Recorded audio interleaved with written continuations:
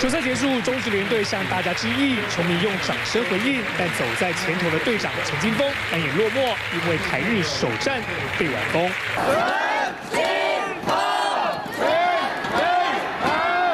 台湾球迷呐喊，可是中华队惨遭日职墙头封锁，全场只有陈金峰跟王胜伟两支安打，总共投下了十四次的三振，其中大师兄林志胜一个人就领到了四张老 K。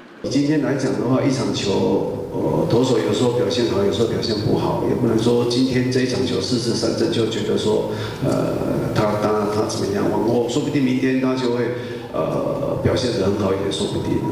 也好几天没比赛了，今天又比完，希望明天表现会更好这样的。拼劲很够，没有失误，我就我就觉得很开心这样。希望明天中华队能更加油，然后能拿到获胜。下一场要讨回来，台湾球迷全力相挺。而王义正投三局丢四分，中下败因，表现似乎受到三万多位球迷影响。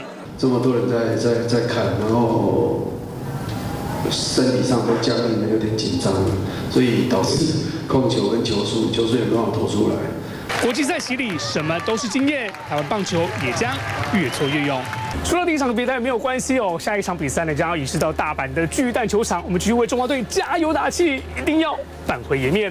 以上时间来自我们在日本名古屋巨蛋球场的采访报道。